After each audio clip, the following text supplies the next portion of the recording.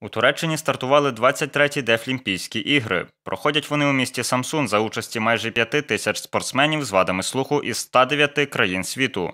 У Дефлімпіаді представлені більше двох десятків видів спорту, в тому числі 16 індивідуальних та 5 командних. У складі нашої збірної рекордна кількість учасників і тренерів майже три сотні.